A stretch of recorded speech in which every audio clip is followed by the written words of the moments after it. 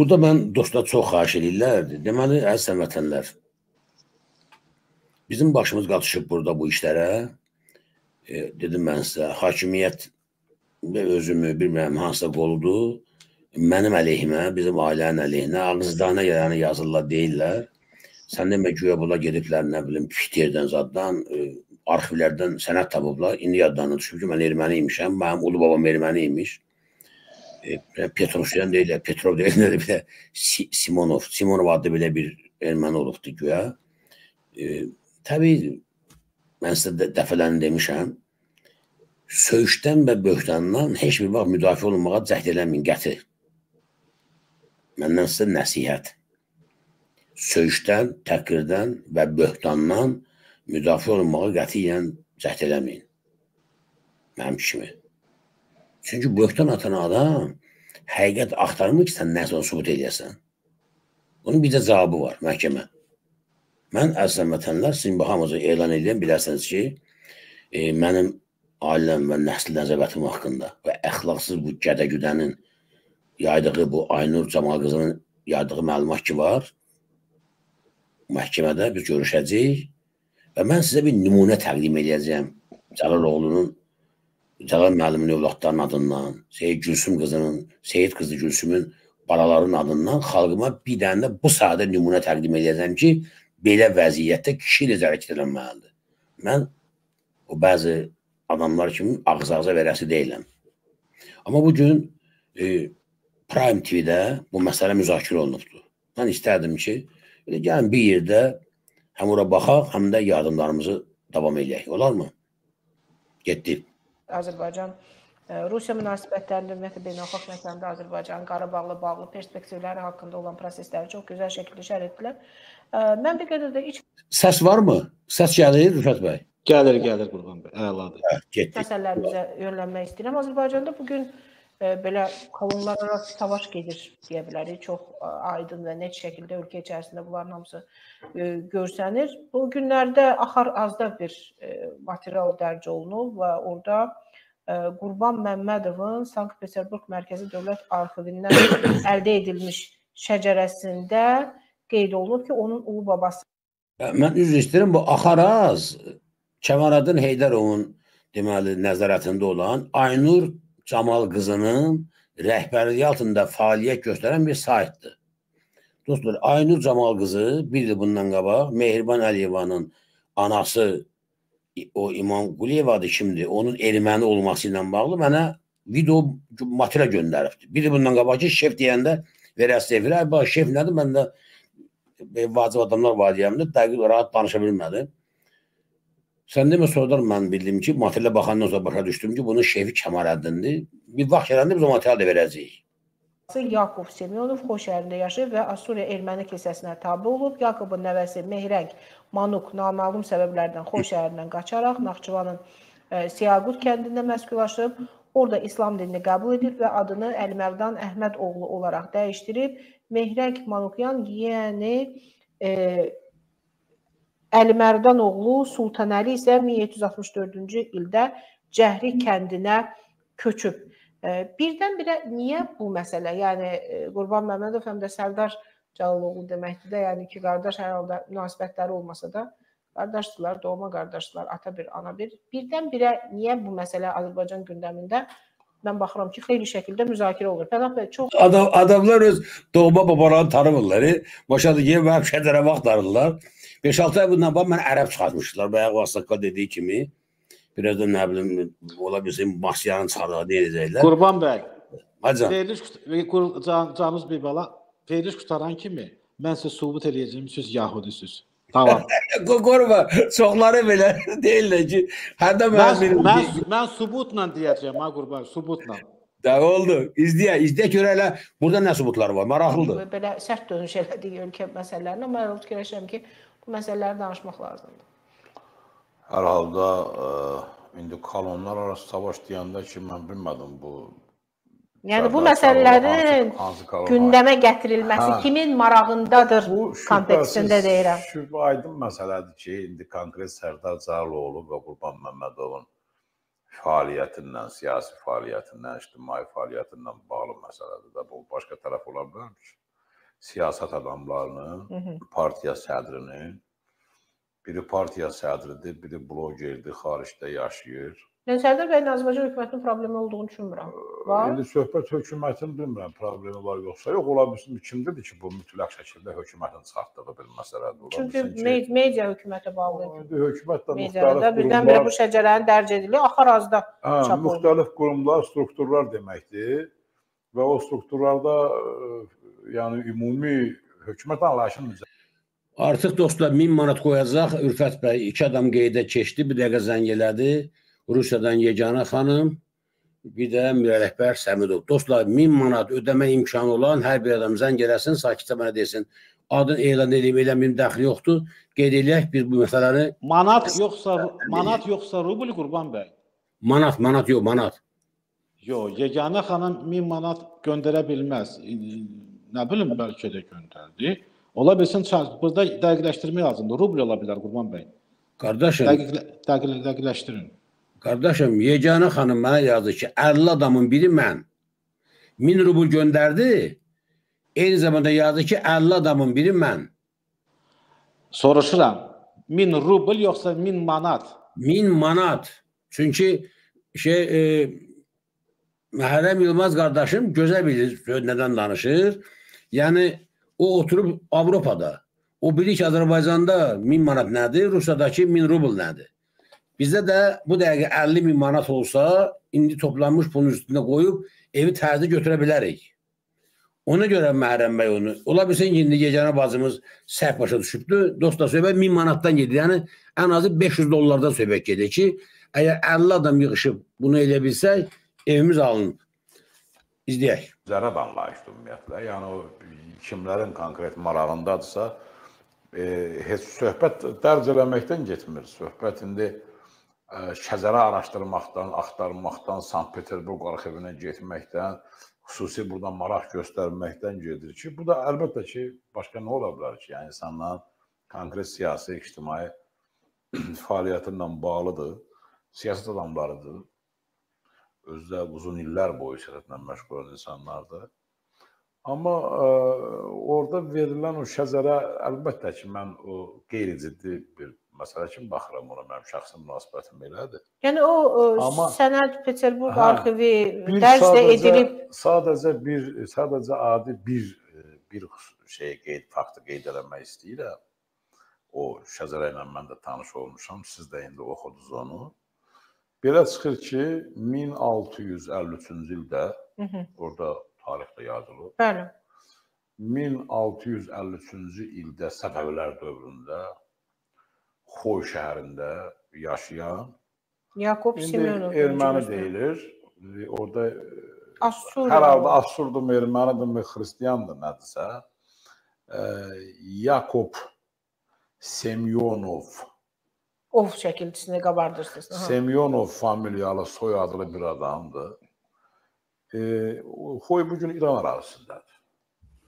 Bu gün də İran ərazisində Ov soyadını daşıyan ermənilər məncə yoxdur.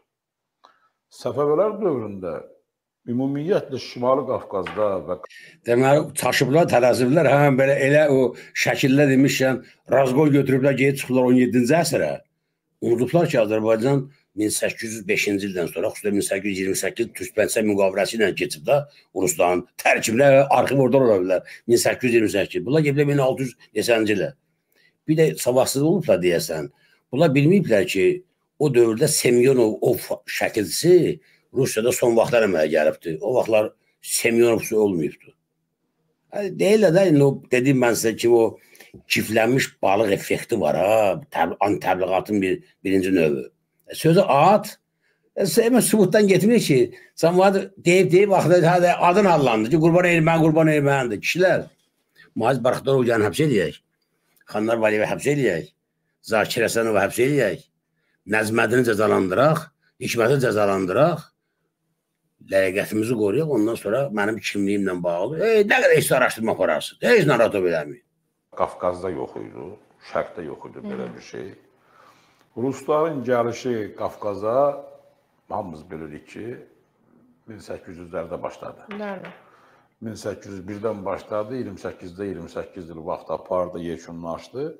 ondan da bir 50-60 il sonra Qafqazda ov familiyaları yayılmağa və yazılmağa başladı.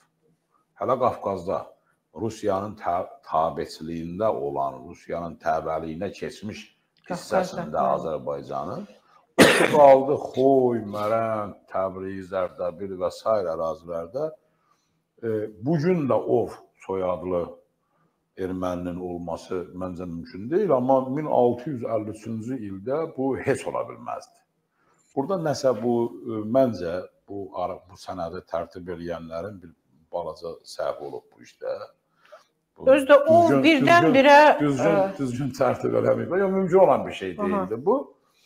Ə, Ondan sonra da heç kimdə ov yoxdur. Hə. Yəni onun məhz, onun oğlu göstərir Söhrab Yakov, Mehrəng Manov falan. Deyək ki, əgər Simonian yazılsaydı, deyək ki, əgər Uni Eti soyadları ilə qutarsaydı, Simonesi olsaydı, Simeonuni olsaydı, deyək ki, indi hardasa baxmaq olardı ki, arxiv tərtibatında bir düzgünlük var da, müəyyən bir o dövrdə o soyadların olması mümkün idi. Amma Semyonov soyadın alması olması mümkün deyil. Təbii ki, mən də xüsusilə də Sankt-Peterburq arxivindən çıxan sənədlərdir.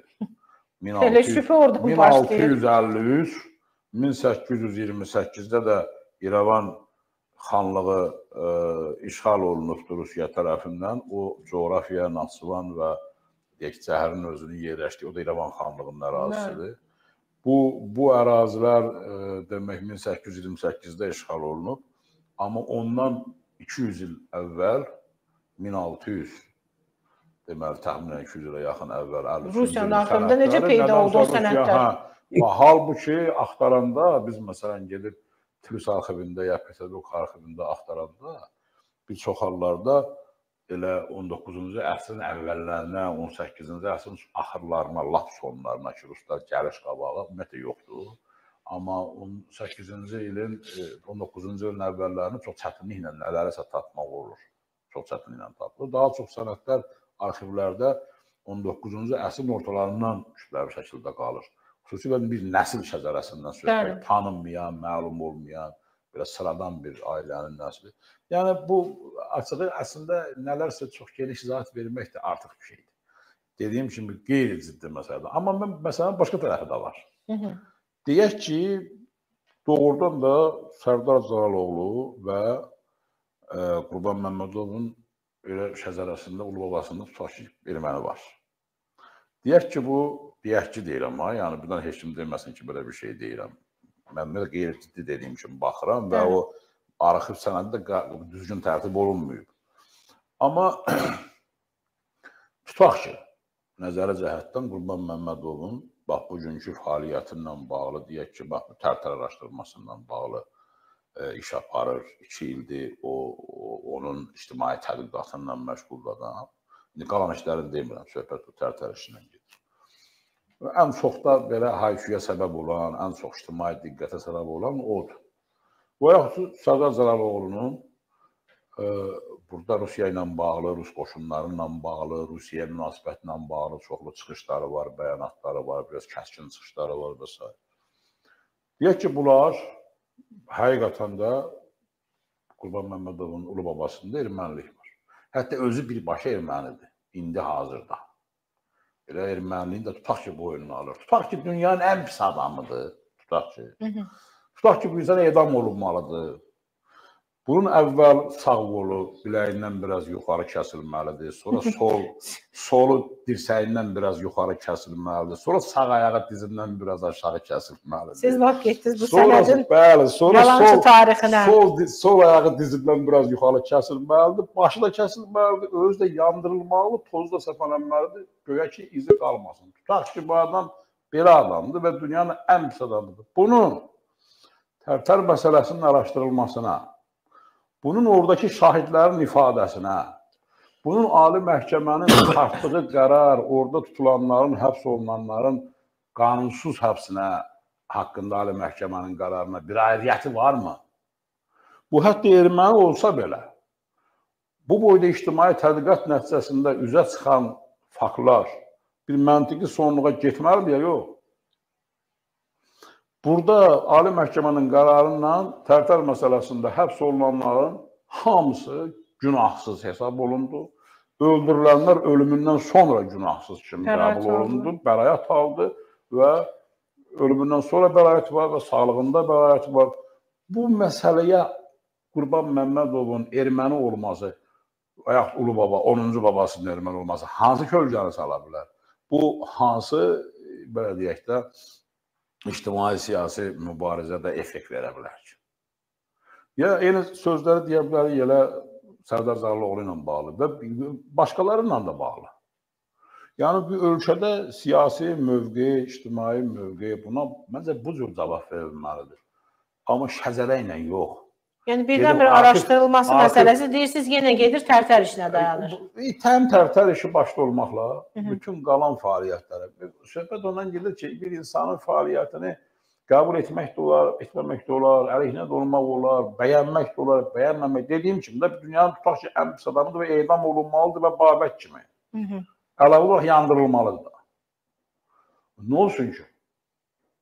Bu gördüyü fəaliyyət bu buna kölgə salmır ki. Hamımız da başa düşürük də, tamaşaçı da başa düşür. Hər birimiz başa düşürük ki, bu tip adamlar haqqında əgər bu cür e, məsələlər ortaya çıxırsa, bu siyasi ictimai fəaliyyətlə bağlıdır da. Bu başqa nə ola bilər ki? Deyək ki, bu fəaliyyət olmasa heç araşdırılmaz ki.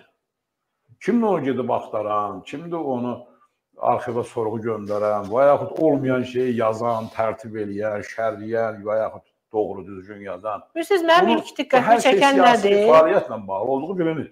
Paşa bəy, indi Qurban Məmmədovun babası erməni yazılıb başlıqda, amma Azərbaycanda ye- yenə deyirəm, hər nə qədər aralarında münasibət olmasa belə, yəni Sərdar bilinir ki. Sərdar bəylə onun adı Firdi çəkilir Qurban Məmmədovun. Yox, Sərdar Mənim üçün maraqlı başqa şeydir. Qardaş, Sədəm önü böyükdür 5 yaş. Onun adı çəkilir. Məmman niyə çəkirsiniz ki? O maaşını vəliyə verirsiniz ki. Ha, tərtən narahat edirsiniz. Mən sizin arxınıza çıxacağam. Hilal Nəcəfov, Hikmət, Maiz, xanlar. Mən mütləq sizin arxınıza çıxacağam. Bu xalq sizi tapdalayacaq. Ondan sonra baxarıq kimin şədərəsi nədir, zat kökünədir. Darıqmayın. Tələsməyin.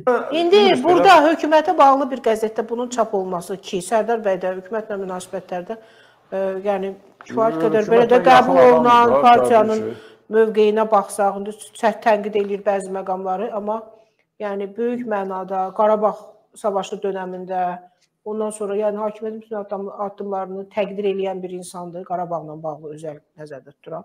Eyni zamanda hakimiyyətin də siyasi partiyalarla bağlı bütün projelərinə daxil elədiyi adamdır. Yəni səfərlər olsun, tədbirlər olsun, Sərdar bəy hər yandadır. Belə Niyə birdən-birə belə görsənir ki, Yəni əlbəttə bu- hədəfdə əsas Qurban Məmmədov olur. Aha. İndi e, Sərdar Caloğlu da onun qardaşıdır. İstər-istəməz təbii ki, adı çəkilməlidir, getməlidir, ona da uyğun.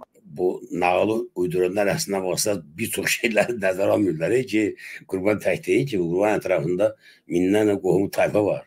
Hər biri verəcək məhkəməni inşallah görəcəyiz nələr olacaq. Azərbaycanda çox maraqlı bir dövr başlayacaq. Başmalıdır. Mən belə düşünürəm. Ola bilsin, bəlkə də əksinədir. Amma bir şey də deyim ki, bu Sərdar Məmmədovu, Daloğlunu hamı tanıyır. Qurban Məmmədov da hamı tanıyır. Amma bunlar həm də Əbdül Məmmədovun qardaşlarıdırlar. Bəli. Qazi. Qarabağ qazisi qəhrəmanı, oğlu bitərəz. oğlu noyabr Şəhid. e, deməli e, aprel şəhidi Rasimin atasıdır.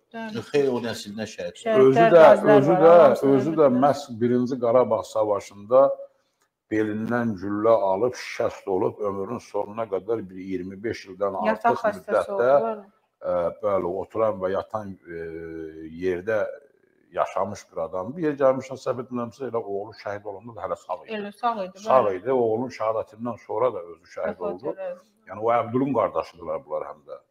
Üstəlik Pənah bəy düz deyir. Nəsildən xeyli şəhidlər var, yaxın qohumlardan, bacı uşaqlarından, qardaş uşaqlarından. Nə istəyində Allah rəhmət eləsin bütün şəhidlərimizə. Amin. Yəni biz elə Sərdar deyirik, qurban deyirik. Burada Əbdül də var və başqaları da var.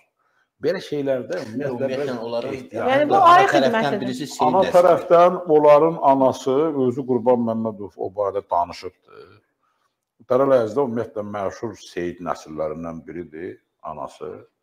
O ana tərəfdən o Seyid qohumlar Azərbaycandadılar, Bakıdadılar, bu gün də xeylilərdə kifayət qədər də samballı tanınan bir nəsillərdən biridir. Dərəl Əzdə məşhur nəsillərdəndir ana tərəf. Ata tərəfi də indi deyirlər Mehraş Manukadidir.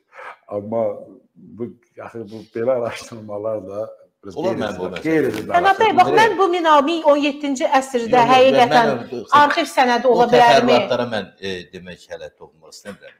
Yox, məsələn, Paşa o bəy Peterburq dedi bu. arxivində ola bilər İcazə- 17-ci il icazə verin sənədi, mən bir Pənah bəy. məsələni deyim.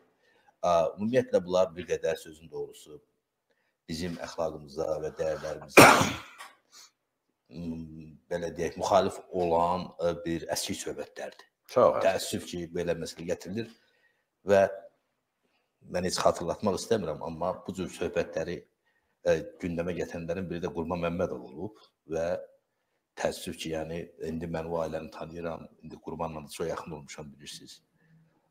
Vaxtı ilə ailəni də tanıyıram.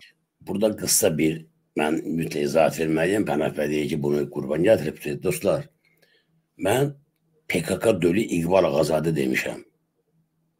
Mən deməmişəm ki, İqbal Ağazadanın dədəsi ermənidir ya nə bilim nədir. PKK dölü demişəm niyə? Çünki tərtərdə cinayət törədən adamların PKK-ya xidmət etdikləri haqqında dəqiq məlumatım var. Xanlar Vəliyev, Bəylər Əyyubov. Bunu Türk istihbar, istihbarata bilir, onu biləsiniz. Azərbaycanı gözəl bilir. Azərbaycanda bilənlər bilir. Mənim nəzərimdə kim kimi müdafiə edirsə, onun tayıdır. Mənim məntiqim belədir. Mən nə heç haqqında öz adımdan ay nə bilim mən belə dediyim var, filan belə sənət çıxdı, nağıl belə danışmamışam. Məsələn mənə e, bu Aynur Cəmal qızının göndərdiyi material var. Mehriban Əliyevan anası erməni olması ilə bağlı. Ailə İmam Verdiyevanın. İmam Quliyevan nədir? O sıxla bir kişinin danışığı var, söhbəti var. İzah edir ki, bunlar sonsuz olub. Anası, xalası və s. Bu başqa bir şeydir. Mənim deyək ki, e, İran nə bilim, Xomeyninin dəftərxanasından 3000 e, pound maaş almağın barədə sənəd düzəltmişdi. Əli Kərimin küçükləri Avropada ayrılarda qoymayın yəni. Və bir yalan palan hara gedə bilərsiniz ki?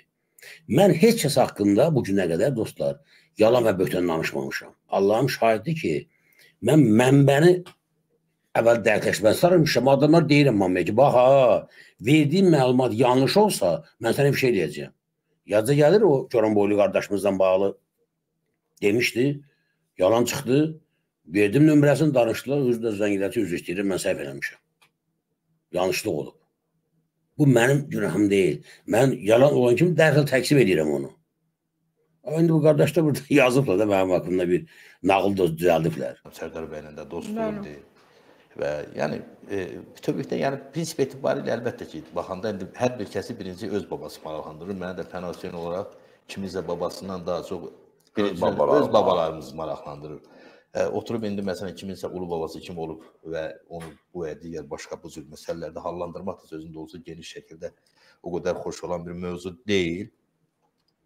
E, mən amma hə- istər-istəməz bir mənəvi e, kölgə salır müəyyən e, nüfuza xələl gətirir. Orada insanlar var, çox böyük bir ə, demək gənclər var, yaşlılar var və s. var. Mənə elə gəlir ki, ə, bu məsələyə bu qurbanın özü tez-tez məsləhət görür ona buna ki, verin məhkəməyə araşdırın. İndi ortada sənədlərin Paşa bəyli bir tarixçi kimi məsələyə toxundu.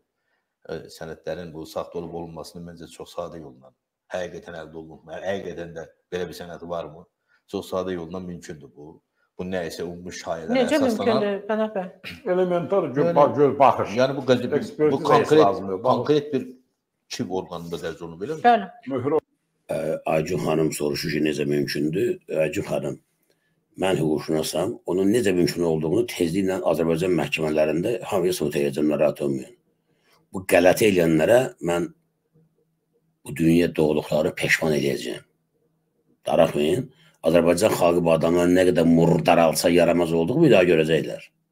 Olmalıdır. Kim orqanında bu şərəf və ləyaqətə nüfuz nüfuza İndi ə, sənəd qoyublar ortaya. Mən də ona görə soruşdum ki, gətirən bir məsələ kimi araşdırılmalı. hələ burada Rusiya Hüququ var. imperiyası yox ikən, o Yox, 7-ci bu- əsrdə bizim şəcərələrimizin sənədi necə gəlib konkret olaraq bunun ekspertlər var, bunun ekspertizası var və s. var. Yəni bu sırf necə deyirlər, konkret məhkəmə e, predmeti ilə olan bir məsələdir. Mənim üçün bir daha təkrar edirəm, o fikirlə razıyam ki, bir də mən əski söhbət sayıram. Çox, Söhbətləri, çox belə ə, yaraşır. yaxşı xoşa gələn söhbətlər deyil və bu cür söhbətlərlə istənilən adam bax xırda bu cür məsələlər indi bundan sonra başlayacaq kimisə görəsən ulu babasının hansısa bir ə, qohumunun falan kəsində falan millət olsun bizim millətə qətiyyən yaraşmaz. Doğru. Yəni millətimizin immuniteti var, və çox indi- Hakimiyyətdə xeyli erməni nənəsi indi olanlar ki, var, hamısı Biz qarşımıza böyük, vəzifələrində. böyük o burada da bu milli fikir masasında da daim tartışırıq. Biz indi milli e, dövlət mərhələsindən universal dövlətə, imperial mərhələsinə keçiddən danışırıq və bu çox böyük işlər tələb edir və çox böyük. İndi gəlib başlayaq içərimizdə kiminsə ulu babasının nənəsinin, dədəsinin nənəsinin oğlu kimi məsələləri bu çox belə bir xoşa gələn istəyirəm. söhbət olmaz. Bağışlayın bir şey deyim. Mən sizlə razıyam ki, bu mövzunu bu cür milli fikir platformasında işləmək də doğrudur. Amma biz niyə toxunuruq buna? Bu cür məsələlər o qurşaqdan aşağı deyək ki, o şərlə dolu falanla bax belə bu cür kompromatların özü elə milli fikirdə əslində müzakirə olunmalı şeydir. Hə, Millətimizin əxlaqına, qurbanın əxlaqına zərbə vuran qurbanın Siz özünü deyirsiniz qurban özü belə məsələlər qaldırıb indi bu bumerangla özünə qayıdır. Yox, mən hətta qaldırıbsa belə mən demirəm. qayıdırıbsa da çox səhv eləyir. Yəni mən demirəm, mən bu, haqq ümumiyyətlə- qazandırmıram. Hə, belə bu şeylər Ə, olmamalı. dem- Amma bir halda ki, bu məsələ meydana gəlibdir. Mənim üçün şəxsən bir daha təkrar edirəm, o nəsli mən tanıyıram. Təkcə qurban deyil ki. Əlbəttə. Də əvvəldən Qurban Məmmədovu tanımışıq.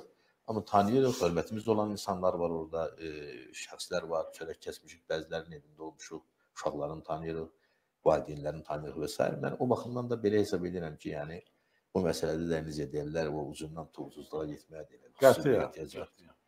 Təşəkkür edirəm. Ə, yəni bu məsələyə mütləq qayıdıb üçün münasibət bildirmək lazımdır. Çünki həqiqətən Bənan bəyin sonuncu ifadəsi ilə dediyimiz kimi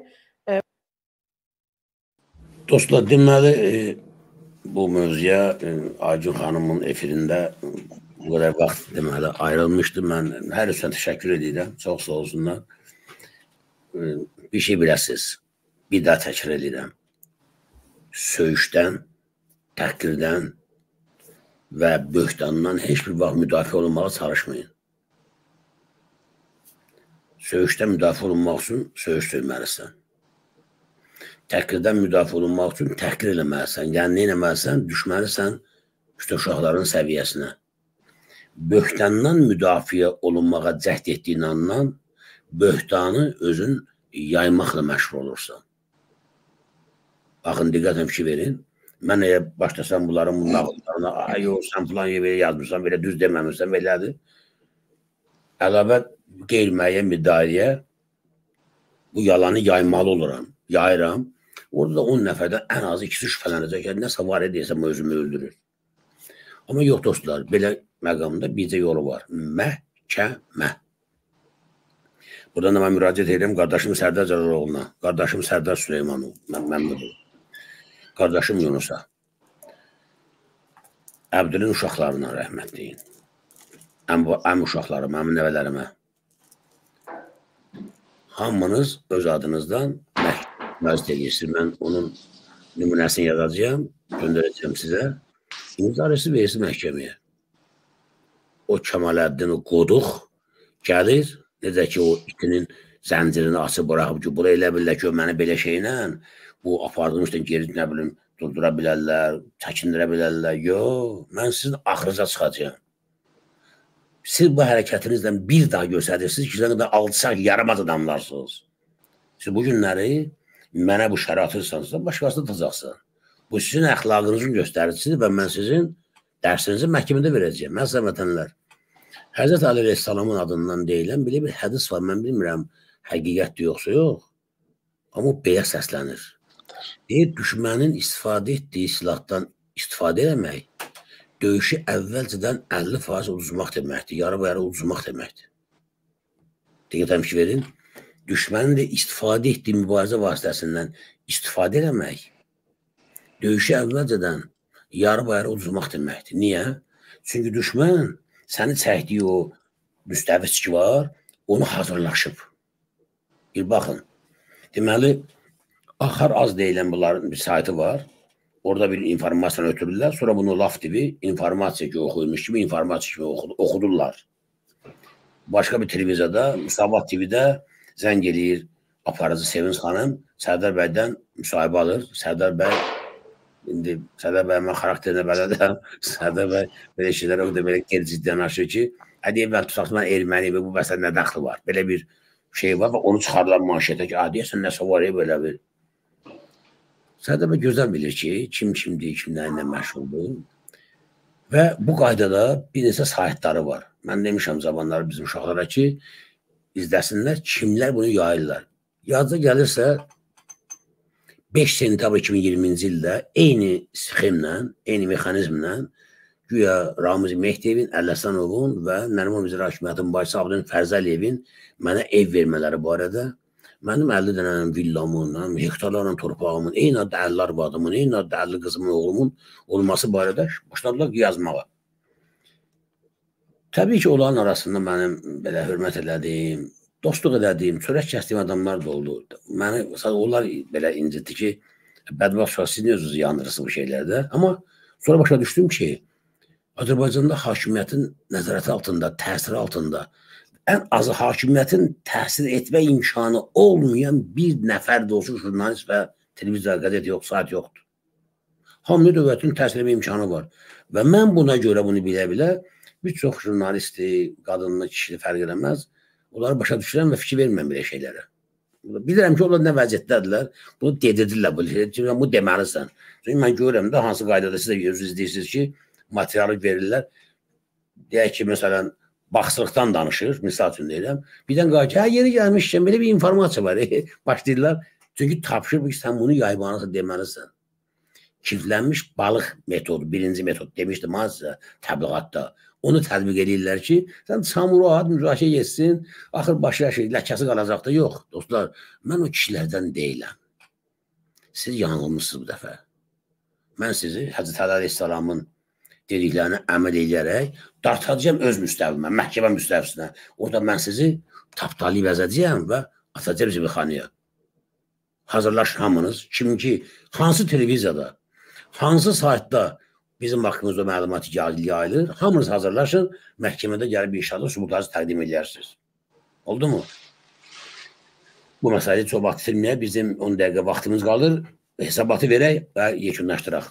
Qısa Qurban bəy, deməli Konstantin Simonov böyük rus şairi olub, Kubanda yaşayıb. Konstantin Simonov Yahudidir. Ona görə siz Simonov erməni ola bilər, bilmərsiniz. Ondan başqa orada Yakov sözü var. Yakovda ermənilər adı yoxdur. Ona görə Skareyev siz Yahudisiz. Əgər o Simonov nə vaxt doğulub? Deyə bilərsən? Bəli. Simonov nə vaxt doğulub? Hansı Simonov? Konstantin bu məsələni tarixçilər və dilçilər verir. Bu ov sonluq var ha şəkilçi. Ov. Bu ov Qafqaza 19-cu əsrdə Rusların özündə 18-ci 19-cu əsrdə olubdu bu ov məsələsi. Bunlar məni deməli o qədər qızışıblar, şəkillə demişlər. Razqon götürüblər, gəlib çıxdılar 17-ci 1600-ci ilə qədər. Bir barada yesəydilər, məni çıxardacaqlar xətanın xalası oğlu. Bu bunlar beləncə işləyirlər. Qulam bəy, söz xoşbəxt, söz xoşbəxt insansınız. Belə getsə bütün Azər film üzvlərini erməni bildirəcəklər bu bir. o məhkəməyə verərik, pis yaxşı kompensasiya alarıq. İnşallah. Zəng var, zəhləri qəbul eləyə. Alo. Salam əleykum.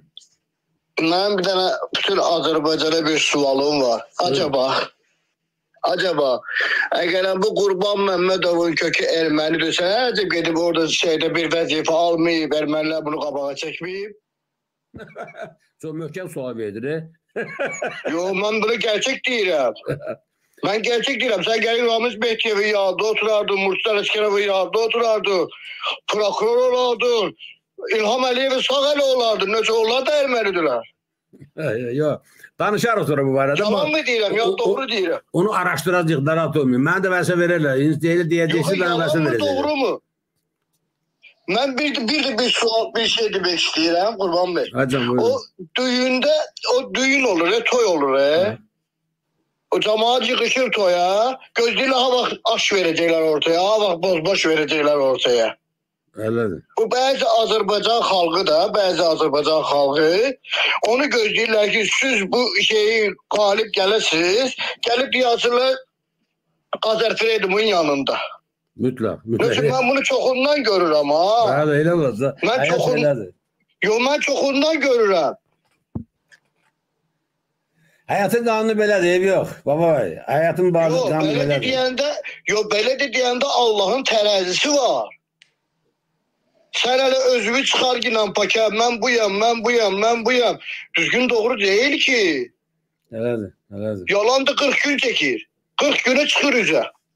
Olmaz belə şeylər ya, kişiyə yaraşmayan, Azərbaycan xalqına yaraşmayan bu sözlərdir. Vallahi bunlar Azərbaycanı dögürlər. Allaha and olsun. Bunların qanı bozuqdur. Yox, düzələr aşı, düzələr. Da, sağ ol, çox sağ olun, var olun. Başqa bir qardaşımız da bayaq məndən xahiş elədi ki, mənə mütləq dön. Ə, Almaniyadan deyəsən zəng eləyirdi, dedi, mənim sözüm var. Mən dedim baş üstə, mən sizə dönərəm. Onu da zəngin qəbul eləyək. Dostlar, Efidə gördüyünüz bu iki adam ki var, Dağıyev Əli və Əliyev Şamran. Bunlar 200 min dollar rüşvət alan və bunların 200 min dollar rüşvət aldıqları dəqiq sübut olunan iki böyük dələduzdur. Biri dövlətin təhlükəsizlik xidmətinin rəhbəridir, biri də Respublikanın baş prokuroru. Baxın, oldum. Allah məni öldürərdi, boğulum qalardı. Mən ora qapı açmazdım. Mən sizdən bunu xahiş eləməzdim və deməzdim ki, bunu adamlara verin mənim oğlum işə götürsün və deməzdim ki, bunu adamlara verin mənim oğlum işə götürsün ki, bunu adamlara verin mənim oğlum indi bu yaramazda ki, öz aləmlərində məndən belə mübarizə aparırlar. Amma bir şey anlamırlar ki, bunu mən yaxşı tanımırlar hələ. Mən amma özümü orada tanıdacağım. Zənci qəbul edək. Alo, Alo, axşamınız xeyir Qurban bəy. axirətiniz xeyir olsun qardaşım. Buyurun efidəsiz. Rıfat bəy də siz də tamaşaçılara salamlayıram. Qurban bəy, e, yəqin ki, hamı görübdü, bütün tamaşaçılar da görübdü, Qatar Nəbi kin olsun. Orada e, deməli, e, bəylə Qatar Nəbi üzə gələndə ona qoluna qandal vurmaq, o, onun orada işverəni qoluna qandal vurmaq istəyir. Orada Bəli. bəyin bir yaxşı sözü var. Deyir, haqlısan Nəbi, kişinin qoluna da gərək qandalı kişi bura. Bəli. E, Qurban bəy, sənət olmuyor. o kişilik yoktu. Düşmançılığı da kişi kimi apara bilmirler. Bu birincisi. ikincisi. O, bu dört əsr bundan qabaq bu şəcaranı axtaraq tapanlardan mən e, çox xahiş edərdim ki, onlar əlaqə nömrəsini saxlasınlar. Mən ata babamın müharibədə həlak olub 41-45-də. Onu tapa bilmirəm. Dillər tapa Gecədir. bilmirəm. Mənə köməklik eləsinlər. Çox xahiş edirəm. O bu bir yarım əsr bundan qabaq olubdu. Bu 41-45 müharibəsində gedib qaya etməyibdi. Mən Rusiyada, Belarusiyada, Ukraynada çox axtar, çox xahiş edirəm onlardan. Çox xahiş edirəm axtar tapsınlar mənə. Ha, bu adam öz ata babasını, babasını, ikinci babasını axtar tapa bilmir. 4 əsr bundan qabaq Allah evi ciddisin. Kişi kimi aparın. Mübarizəni kişi kimi aparın. Mən onu demək istəyirəm. Yəqin Eşk ki, olsun. eşitirlər o düşmən Təşəkkürlər, təşəkkürlər qardaş. Çox sağ olun, var olun. Amma sizə bir şey deyim. Allah vəla babanıza rəhmət eləsin. İkincisi də ki, adamlar sənin babanı. Adam öz babasını tapamıyor ki, sakit tapır, əvvəldir oğlu. Adam gəl birində özündən başlayaq ki, sağlıq olsun, mən məhkəmədə şeyləri elə göstərəcəyəm hamı, darıxmayın. Efirdə gördü bu iki adam ki var, dostlar. Bu Əli Nağıyev, bu dövlətin təhlükəsizlik xidməti ilə güya məşğuldur. Və Azərbaycanda hər cür binamusluğun başında duran biri də budur. Əli Nağıyev. Çünki adam ələyridir, rüşvətxordur, alçağı biridir. Kamran Əli onun cinayət ortağıdır. Bir şəhərliyi biri tutur. Ağızlarına əvvəllərinə yəni eləyirlər. Bu adamları unutmayın siz. Bunlar mütləq xalq tərəfindən cəzalandırılacaqdır. Hamısı cavab verəcəkdir elədikləri bu qələtlərə görə. Bu nefirdə alo. Selamun Aleyküm Kurban Bey. Ve Aleyküm Selam ve Rahmetullah Berekatü. Buyurun. Ee, Sizi də salamlayıram, bütün izləyicilərimizi salamlayıram və Rüfət bəyi də həmçinin.